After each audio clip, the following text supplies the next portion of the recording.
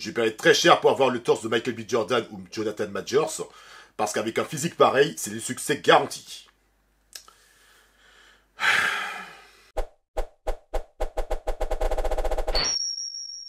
Salut à tous. Oui, je sais, c'est pas bien ce que je fais, je suis en train de donner de mauvais exemples en me comparant aux autres, mais quand même, vous avez vu la musculature de ce gars? Alors, je connais pas encore ce mec, je sais pas s'il est suivi par un coach ou quoi que ce soit, euh, quel est son genre d'entraînement, quelle est son alimentation, en tout cas qui lui permettent d'avoir ce genre de physique, mais euh, bordel, je sais pas comment il fait, mais... Ah, je suis jaloux, je suis trop jaloux. Mais bref, maintenant que j'ai fini d'extérioriser mon mal-être provisoire, attention à team premier degré quand même, on va pouvoir passer aux choses sérieuses. Bienvenue dans cette toute nouvelle critique consacrée au troisième épisode de Creed, réalisé et avec pour vedette Michael B. Jordan. La série des Rockies, c'est une saga que j'affectionne particulièrement. Tout simplement parce que je m'identifie au personnage éponyme, euh, interprété par Sylvester Stallone. Est-ce qu'il est vraiment utile de vous le rappeler? Je m'identifie à lui parce que le parcours qu'il a fait dans le premier film, genre euh, c'est quoi? C'est un boxeur euh, qui est de seconde zone, qui habite dans un quartier pauvre de Philadelphie, mais qui n'a qu'un seul rêve, devenir un grand boxeur. Et il va passer par plusieurs merdes, il va passer par plusieurs déboires et tout. Il va rencontrer celle qui va devenir la femme de sa vie. Il va aller affronter le grand champion Apollo Creed, interprété par Carl Weathers. Et une fois qu'il a vaincu ce même champion, Rocky va devenir la plus grande star du monde de la boxe et un personnage iconique de l'histoire du cinéma. Et bien évidemment, la série des Rocky, c'est un sujet que je ferai plus tard dans une autre vidéo, mais en attendant, mes films préférés sont le 1, le 3 en tête et le 6. Et là, on avait pensé que cette série se terminerait avec Rocky Balboa. Un nouveau spin-off y est apparu, il s'appelle Creed,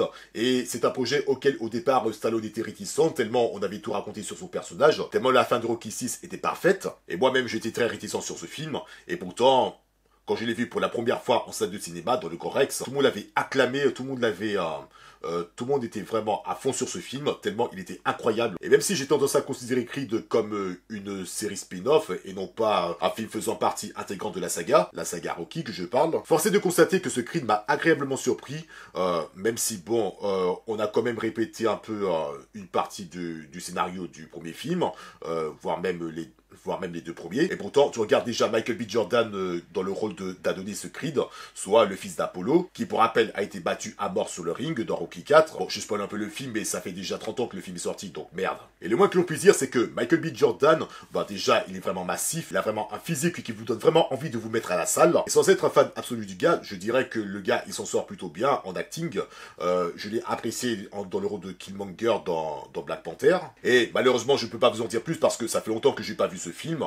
Mais en tout cas, je suis sûr, voit Sylvester en tant que mentor parce que il a quand même une dette envers euh, Apollo, puisqu'il va prendre Adonis sous son aile. Voir Rocky en tant que mentor, ça fait vraiment plaisir.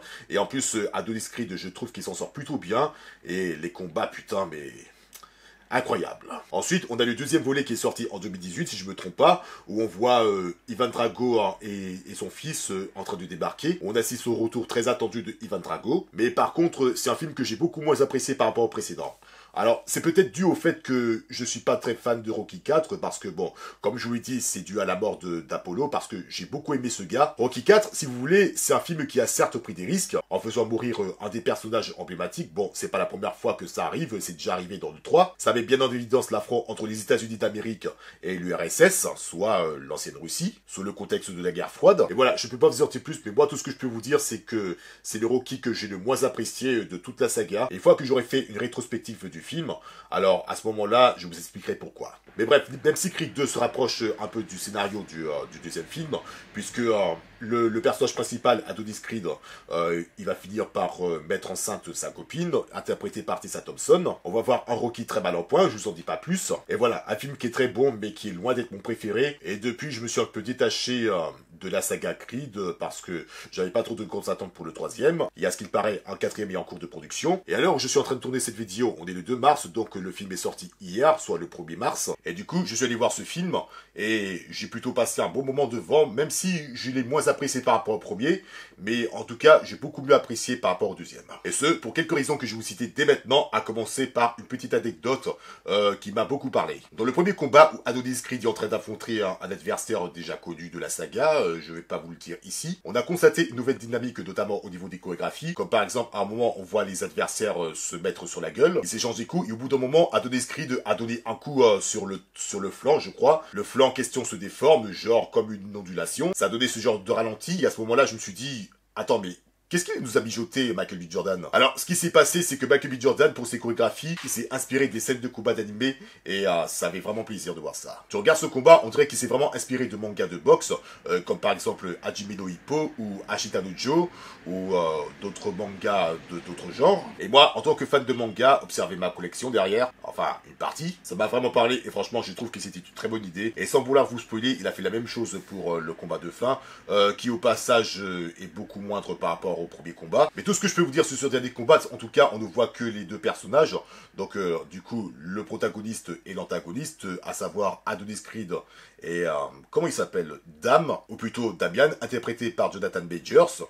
On va revenir sur ce gars un peu plus tard. Ajoutez-y quelques effets, et certes, c'est pas aussi impactant que, euh, que le premier combat, mais en tout cas, l'idée était là et on ne peut que le saluer parce que bon, c'est la première réalisation de Michael B. Jordan et au niveau réel, je trouve qu'il s'en sort plutôt bien. Après, on a pu constater l'absence de Sylvester Stallone dans ce film, même si son personnage y a été mentionné euh, quelques fois. Mais par contre, Stallone, lui, il a trouvé ça incompréhensible euh, dans la mesure où euh, il n'a même pas été prévenu pour, pour participer au film, alors que d'habitude, Rocky fait toujours partie de l'histoire de Creed, notamment les deux premiers films. Et là, pas de trace de Sylvester Stallone, ce dont l'acteur reproche.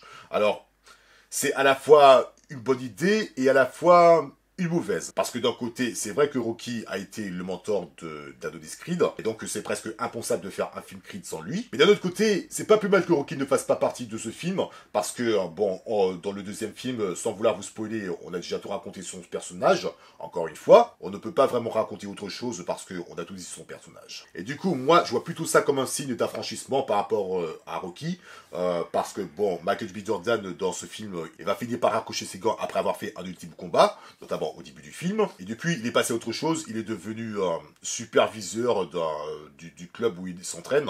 Enfin, je me rappelle plus c'est quoi qu'il faisait. Euh, dites-moi dans les commentaires pour me rafraîchir la mémoire. Voilà, je sais ce qu'il faut dire. Il est en train d'entraîner son nouveau poulain. Et d'un autre côté, tu as Damien, son ancien pote, euh, qui a passé 18 ans en tôle et qui en est sorti. Et du coup, il va voir Adonis Creed. Les deux personnages vont se retrouver et on sait ce qui va se passer. Genre, Adonis, il va le prendre sous son aile pendant un moment. Et après, Damien a déconné parce qu'elle était trop brutale envers un adversaire, soit le poulain d'Adonis Creed, et après, pour une raison que je ne vais pas vous citer ici, les dégâts ne peuvent plus se bérer, et du coup, on assiste à un combat final entre ces deux personnages. Donc voilà, du coup, on assiste à un pot pourri de ce qui a été fait dans la saga Rocky, euh, c'est-à-dire que euh, Adonis Creed qui va prendre sous son aile euh, son ancien ami, ce qui me rappelle un peu Mikey et Rocky. Mikey a vu en lui un potentiel, et du coup, il va l'entraîner jusqu'à affronter Apollo Creed. Ensuite, Damian, il me rappelle beaucoup à la fois Clover Lang, soit le meilleur méchant de, de, la saga Rocky, donc euh, le méchant de Rocky 3, à cause de son agressivité et sa brutalité. Et d'un autre côté, il rappelle également l'antagoniste du, du 5, euh, je me rappelle plus de son nom, bref, euh, c'était pas vraiment un méchant euh, des autres, dans le sens où pareil, il a été pris sous l'aile de Michael B. Jordan, mais après, au bout d'un moment, il a fini par déconner, comme je vous l'ai dit tout à l'heure, les deux gars vont s'affronter dans un combat final, sauf que, contrairement à Rocky 5, ce n'est pas dans la rue que ça se passe, mais sur le ring. Et voilà, ce sont les seules similitudes que j'ai pu retenir, et voilà. C'était un c'était certes un peu pourri, mais euh, bon, ça n'en est pas moins agréable à regarder. En ce qui concerne les personnages, bon, Michael B. Jordan, bon, il fait toujours le taf, comme d'habitude. Euh, comme je vous l'ai dit, le mec a vraiment de la musculature euh, incroyable. Le mec joue plutôt bien, comme je l'ai dit, je l'ai apprécié dans le rôle de Killmonger. Et dans le rôle d'Adonis Creed, pareil, il est incroyable. il a vraiment une musculature, mais incroyable, putain, mais je sais pas comment... Je n'arrive pas à me détacher de son physique, tellement il est, le mec est très bien bâti. Il y a plusieurs scènes avec lui que j'ai beaucoup appréciées, comme par exemple, presque toutes les scènes concernant sa fille, qui est sourde et au passage, et du coup il converse dans la langue des signes, franchement j'ai trouvé ça très touchant, euh, c'est la première fois que je vois euh, une scène avec un personnage sourd et muet. Après, pour revenir sur Michael B. Jordan, il y a pas mal de scènes d'émotion que j'ai plutôt appréciées, euh, notamment parce que notamment par rapport à un certain autre personnage, je ne vous dirai pas lequel, mais en tout cas c'était super touchant, et ça rappelle beaucoup le des précédents films Rocky. Tessa Thompson dans le rôle de Bianca, elle fait toujours le travail.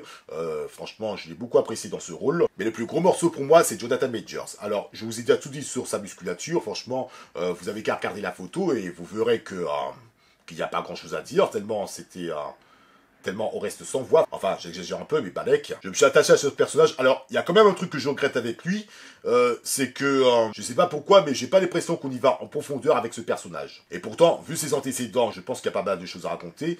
Mais voilà, au départ, euh, à la première partie du film, c'est, on arrive à, à s'y attacher. Et après, et après, à la seconde partie, on expédie vite le scénario. Et voilà, on assiste juste à un combat entre euh, Jonathan Majors et, euh, et, Michael B. Jordan. Et même si la toute fin du film se rattrape euh, avec le personnage de, Damian, je, regrette un peu qu'ils n'ont pas plus poussé le personnage à fond. Voilà, je sais pas si on m'a compris, mais en tout cas, c'est l'impression que ça me donne. Et voilà, je pense que c'est tout ce que j'ai à dire sur ce film. Et du coup, un film certes moins bon par rapport au premier, mais en tout cas meilleur que le deuxième opus, à mon sens. On sent vraiment de l'inspiration dans les chorégraphies des combats, notamment l'influence manga, et j'en veux pour preuve une scène où on a le personnage d'Adonis de tout petit, et dans sa chambre, on peut même apercevoir une figurine Gundam, c'est vous dire à quel point le mec est vraiment influencé par les mangas. Mais bref, même si le deuxième combat m'a beaucoup moins marqué par rapport euh, au... Euh, par rapport au tout premier, qui était vraiment spectaculaire, je trouve, eh bien, force est de reconnaître que ce Creed 3 tient vraiment la route, ne serait-ce que par rapport euh, à l'affranchissement de la saga Rocky, ne serait-ce que par l'absence du personnage éponyme, même si bon, c'est quand même dégueulasse qu'il ait été mis de côté, mais bon, je pense que Michael B. Jordan a dû avoir ses raisons, ou les producteurs, je sais pas. Voilà, même s'il est très loin d'égaler le premier Creed, euh, j'ai quand même passé un bon moment face à ce film. Et du coup, voilà qui conclut cette vidéo. J'espère que ça vous a plu. Si jamais c'est votre cas, abonnez-vous, likez, partagez, dites-moi ce que vous en pensez dans les commentaires. Suivez-moi également sur Instagram, et on se retrouve très vite pour de nouvelles vidéos, et d'ici là, portez-vous bien. Ciao